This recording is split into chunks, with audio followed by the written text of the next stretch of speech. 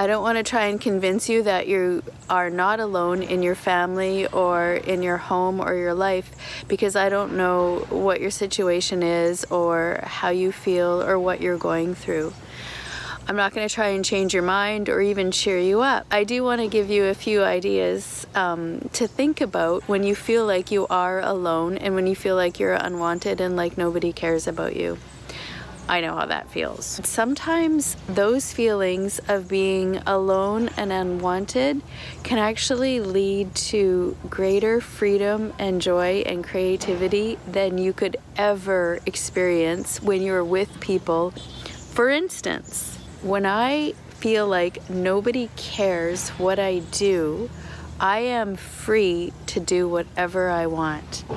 I can make YouTube videos where I'm sitting in the forest talking to you. I can walk around at four o'clock in the morning and dance in the middle of the street. Feeling alone and like no one cares is the source of a freedom and a joy and a creativity that you could never experience otherwise. Think about doing something that is you, something that truly expresses your your creativity, your uh, authenticity, your true self. Think about what it means to blossom into who God created you to be. Try something a little different and unique. Feeling like you're all alone is normal because it's kind of true there is only one source of true love and deep connection, and that really has to come within yourself.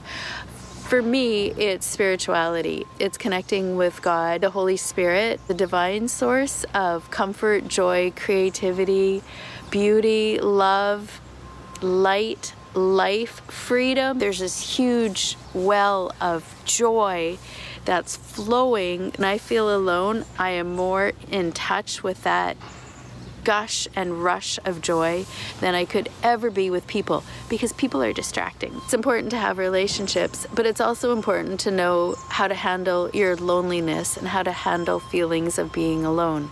And one way to handle that is to know that it's normal and even healthy to feel alone sometimes. Another thing that helps me is to question what I think. If you're struggling with the thought, nobody cares about me, and I'm all alone, ask yourself is it really true? Is it really true that nobody cares about you? You have no friends, you don't have a mom, you don't have a dad, no one is ever thinking about you? That's really sad, but I bet it's not true. I bet you could come up with one or two people who do care about you. Third thing to remember is that you won't always feel this way. These feelings of, I like to call it existential angst or loneliness, they come and go. But what really helps is to know that this is how I feel now and it's just temporary and it will pass. I'm going to be surrounded by people and I won't feel like I'm all alone.